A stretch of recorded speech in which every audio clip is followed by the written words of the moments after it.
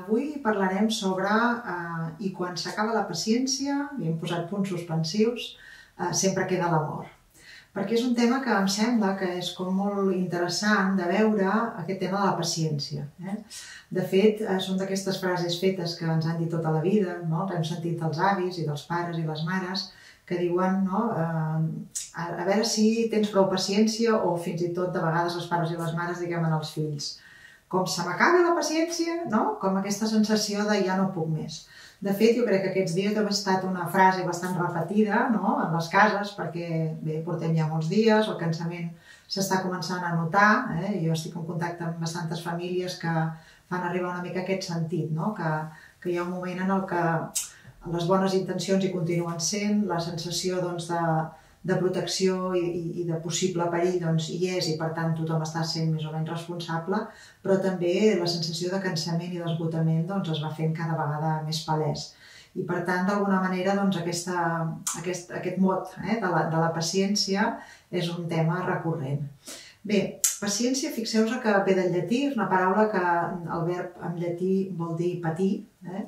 i per tant, eh, jo crec que és important de poder veure realment com considerem que és o què vol dir educar, què vol dir la criança, què vol dir acompanyar, eh, vol dir patir, vol dir aguantar, vol dir sostenir fins, fins a l'infinit eh, per amor. Mm, aleshores, bé, és com poder veure una mica també quina trampa de vegades té aquesta paraula o aquest, aquesta actitud, no? aquesta, aquest comportament mm, de, de voler sostenir. Eh? La paraula paciència comporta doncs, un patiment, un, un sostenir el que sigui necessari eh, per, per amor, eh? perquè és veritat que per als fills i les filles eh, tenim molta més paciència doncs, que per altres, per altres persones, però potser és, està bé també veure que abusar de la paciència també vol dir de vegades deixar-se faltar el respecte, eh, superar els propis límits, eh, la capacitat de poder sostenir, i que quan arribem en aquest punt en el que la paciència s'acaba, eh, doncs de vegades comença a sortir doncs, el, el pitjor de cadascú, eh? perquè quan nosaltres no estem en la nostra actitud adulta, com a pares i com a mares, eh, potser ens posem al mateix, al mateix nivell dels infants, potser ens surt aquella part de ràbia que hem estat contenint, eh, potser parlem més des de l'estómac que no pas des del cap, i per tant jo crec que és interessant com de no arribar a aquest límit. Eh? Poder anar posant una mica de consciència de quins són realment els propis límits i intentar doncs, poder parar eh, eh, abans de que això eh, s'esgoti realment aquest pot de la paciència.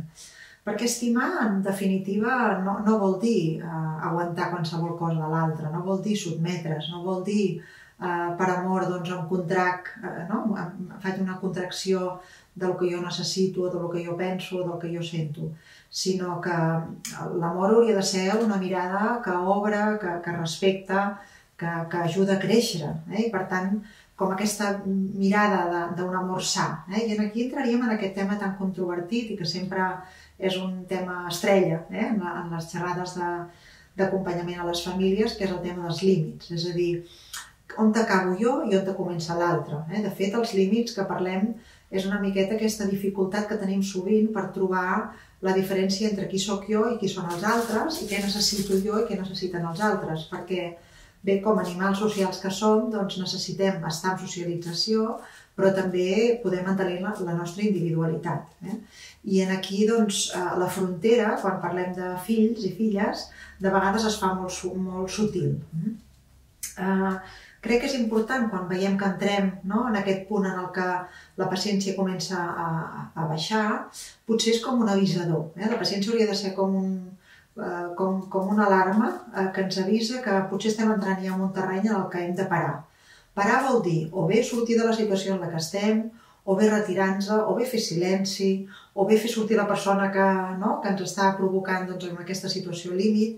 És a dir, d'alguna manera, eh, posant humor, pot ser una altra manera, no? girant la truita, canviant de tema, o, o bé doncs, dient prou, eh, d'una manera respectuosa. Si això ja s'ha passat de voltes, aleshores ja és com quan hem de contenir, quan hem d'entrar doncs, potser en una situació més complicada. Clar, evidentment, les, els infants el que necessiten eh, és aprendre, eh? necessiten eh, aprendre de totes les situacions que estan vivint. I per tant aquest aprenentatge moltes vegades el que els aporta és a repetir les situacions, a buscar on és el nostre límit per veure què és el que sí que està bé i què és el que no, i necessiten equivocar-se, necessiten doncs, tornar a provar si allò que han provat continua estant al mateix lloc. Eh? Si nosaltres diguem doncs, és fins aquí, ells proven a veure si una miqueta més també cola, si un dia cola, evidentment, després ja hi ha un terreny més a guanyar. Per tant, no ens ho hem de prendre, no? seria important això, perquè també ens provoca eh, malestar, eh? ens fa mal que els infants eh, ens sembla que ens estan provocant, que ens estan fent mal, que d'alguna manera el que fan és com per poder que nosaltres explotem. I de fet el que necessiten ells eh, i elles és poder aprendre, poder veure doncs, realment les situacions fins a on arriben, perquè ells també estan en un procés d'identitat. I per tant aquesta identificació entre ells i els altres doncs han d'anar trobant com la mesura. Eh? I per tant ho fan d'aquesta manera. Eh? Una cosa que necessiten és trobar els límits per poder-se diferenciar de l'entorn. Una altra cosa que necessiten és poder eh, sentir que el pare i la mare estan en presència, i són, però hi són de veritat, no hi són d'aquella manera que Uh, sí, val, ja vaig, mm, o sí, o no, contesto d'una manera una mica automàtica. Eh? Ells perceben molt aquesta uh, sensació de si nosaltres estem en presència absoluta, si els estem escoltant, eh? una escolta atenta, si estem realment amatents al que, al que volen, el que necessiten, el que ens estan volent dir, o no. I per tant, moltes vegades uh, aquestes provocacions que poden arribar a, a, eh, que abans a la paciència, eh, tenen una mica aquesta intenció. Eh? Hi ha molt aquesta frase també de el que volen és cridar-me l'atenció i és perquè potser no la, no la tenen, eh? potser, potser perquè la troben a faltar, potser perquè eh, hi ha moments en els que la nostra presència potser és física però no és eh, una presència més emocional o més, més completa. I això no vol dir que hem d'estar sempre al, al servei dels fills, que hem d'estar sempre a la seva entera disposició, però sí que hem de ser coherents eh, dintre de les possibilitats de cadascú. No? Realment aquests dies està clar que estem en una situació que això no sempre és fàcil, perquè són moltes hores al dia, molts de dies i molt poc espai. Eh? I per tant, entre la situació del que es viu a dintre i la influència una mica del que hi ha fora, està clar que tots plegats, el nostre nivell de paciència i de, de metge, eh, que, que diguem, doncs és més curt. Però per això mateix hem de poder ser potser més, més mm, conscients de quan estem començant a entrar en aquest altre terreny que es fa perillós. Perillós en el sentit de la relació, no? Um, està clar que el respecte és la base eh, de qualsevol relació humana i de qualsevol uh, relació paterno-materno-filial. És la base, és la base de qualsevol, uh, de qualsevol educació. Però també és veritat que en aquest punt en el que nosaltres veiem que no estem en disponibilitat, seria com interessant de poder-ho comunicar, sí? Evidentment, si en som conscients, perquè de vegades els primers que ens costa ser conscients d'això són els propis adults, no? Eh, de vegades posem l'automàtic. Eh? Aquests dies hem parlat també en algunes altres de les xerrades de, de quins són els automàtics. Els automàtics serien com les característiques personals, eh, de caràcter, que tendim a utilitzar d'una manera més freqüent i que, lògicament, eh, eh el caràcter es crea quan som petits i que, per tant, tenen a veure amb estratègies que a la nostra infància d'alguna manera ens han servit. Eh? I per tant, quan estem en aquestes situacions que ens posen una mica al límit, eh, ens sol sortir eh, aquesta característica automàtica que és la, per, per nosaltres la més freqüent. Que no vol dir que sempre sigui la millor en el sentit de eh, més, més eh, beneficiosa a nivell de, de relació, eh? que no vol dir que sigui la més sana, eh? però que sí que ens surt d'una manera automàtica. I aquí m'agradaria comentar, comentar una miqueta aquest punt uh, uh, dels enfados, de les rebequeries, de l'agressivitat, uh, i poder-ho diferenciar una miqueta del que seria la violència. Eh? És a dir, mm, les persones, quan entrem en, un, en aquest terreny que estem dient quan se'ns acaba la paciència, és perquè estem atrevessant ja en un terreny de que la nostra capacitat de raonament i d'actuar des, de, des de la lògica i des del cap o des del cor, però posant una mica de coherència, eh, des d'aquesta de, de, part més conscient, comença a ser eh, delicada. Eh? I per tant, mm, veure que aquesta impulsivitat, eh, de fet agressivitat, ve de, de, de la paraula mm, anar cap a, eh? és, vol dir sortir d'un mateix, sortir cap endavant. I per tant aquesta resposta, que també pot ser molt automàtica, eh, fa que de vegades aquesta, aquesta resposta pugui ser potent eh? a nivell emocional, és a dir, que surti amb força, que surti amb impuls, tant pels infants com per als adults, eh? eh els adolescents, evidentment. Però aquesta resposta mm, és, pot ser sana si és dintre del respecte. Val?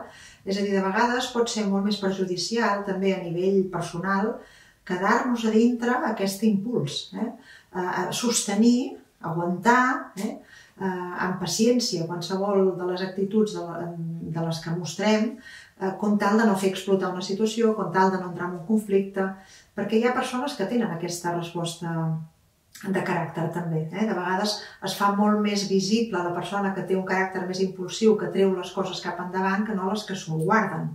I mm, hi ha com aquesta paradoxa, no? Les persones que tenen molta paciència és com si fossin més pacients en el sentit de que eh, tenen un caràcter més tranquil. I això que diuen també de vegades, no? aquestes frases fetes que tenen tant sentit, no? que la processó va per dintre.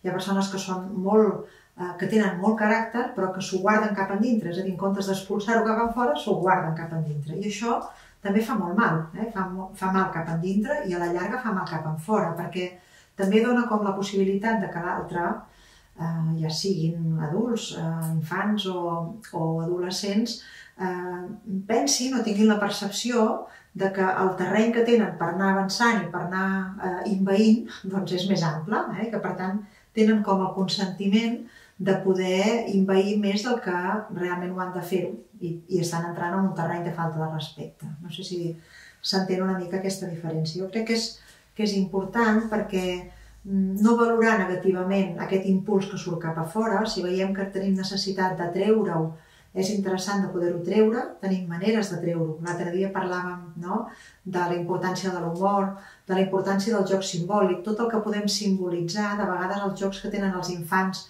de lluites, de, no? més d'agressivitat entre els ninos, que juguen com a...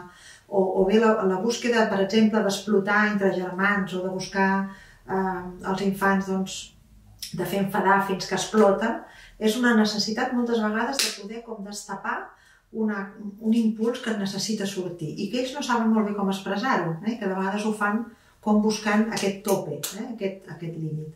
Per tant, bueno, una mica com posar consciència que aquesta alarma de la paciència seria com un indicador interessant per poder veure doncs, que, que hem de poder canviar el registre, la manera d'expressar aquesta necessitat que tenim i que tenim formes sanes de fer-ho i que potser els infants, que són els que estan aprenent, doncs, necessiten que els adults això o trenquem aquesta situació o la canviem d'escenari o bé nosaltres canviem d'escenari o bé oferim altres llenguatges o altres possibilitats més simbòliques per poder igualment expressar aquesta, aquesta necessitat. Bé, aquest és un tema immens, eh? podríem estar-ne parlant hores, però potser una mica aquestes pinzellades que volia com fer-vos arribar avui eh, crec que eh, arribarien doncs, eh, fins aquí.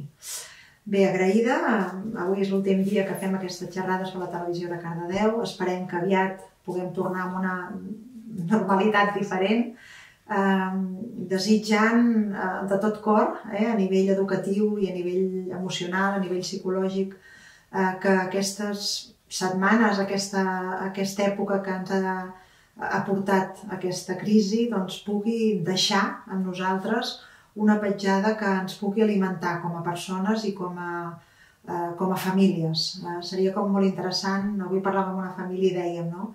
Quines són les coses eh, com a repte familiar que hem valorat com a positives i que no volem deixar de tenir quan això doncs, agafi una altra normalitat o puguem tornar a tenir més influència externa del que, del que estem tenint ara.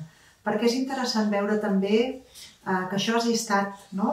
hagi servit per, per una oportunitat d'aprenentatge i de creixement tant com a persones com com a famílies, evidentment com a infants i també com a societat, eh? de quina és la societat que volem i que a nivell educatiu doncs, això tingui una repercussió que sigui positiva per tots nosaltres. Uh, bé, nosaltres com a, com a centre que acompanyem a famílies, infants, adolescents i adults, uh, una mica aquesta cultura de, sistèmica, uh, el que ens plantegem també, doncs, bueno, hem estat uh, treballant online, uh, és una eina que no teníem molta costum de fer servir però que bé, ens ha servit d'alguna manera en alguns casos, però que ens plantegem ja a partir segurament del dia 11 perquè eh, bueno, l'espai que disposem doncs, creiem que té la seguretat i la, la higiene per poder-ho fer, doncs, de poder continuar oferint el nostre acompanyament eh, ja d'una manera més presencial i esperem doncs, que ens puguem retrobar aviat i que ens puguem veure també doncs, pel poble eh, d'una manera molt més propera. Eh, moltes gràcies i fins aviat.